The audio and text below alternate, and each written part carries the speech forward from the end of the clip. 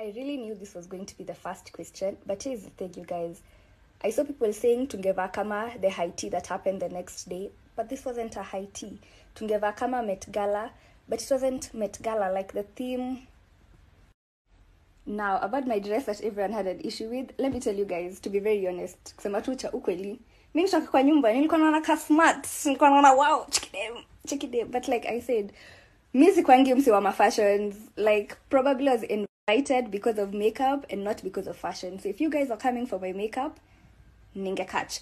But if it's about the outfit honestly i've really not taken it to heart. I feel like it's a matter of opinion whether or not you liked the outfit